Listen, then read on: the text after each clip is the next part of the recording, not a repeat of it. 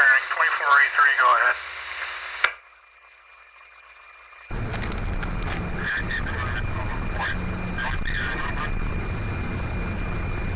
What's your beam off there, 16, he's coming up on 16. It looks like he's trying to make a right-hand turn off 16. I'll monitor it for you.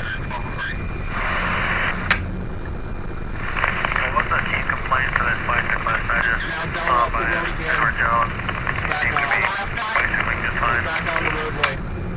Passing mile marker 18.8. Number one,